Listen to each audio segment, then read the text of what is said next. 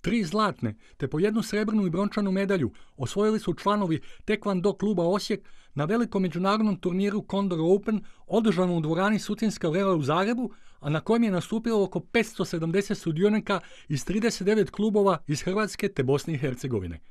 Natjecanje se odvijalo u borbama i formama, u svim uzrastima, od limača, mlađih kadeta, kadeta i juniora do seniora. Osječki mlađi kadet Domagoj Ljevar osvojio je brončanu medalju u borbama do 57 kg, dok je u formama osvojio srebrnu medalju. Juniorka Dea Marković u finalu borbe do 55 kg pobjedila je Vinkovčan Kujelić i zaslužila zlatnu medalju.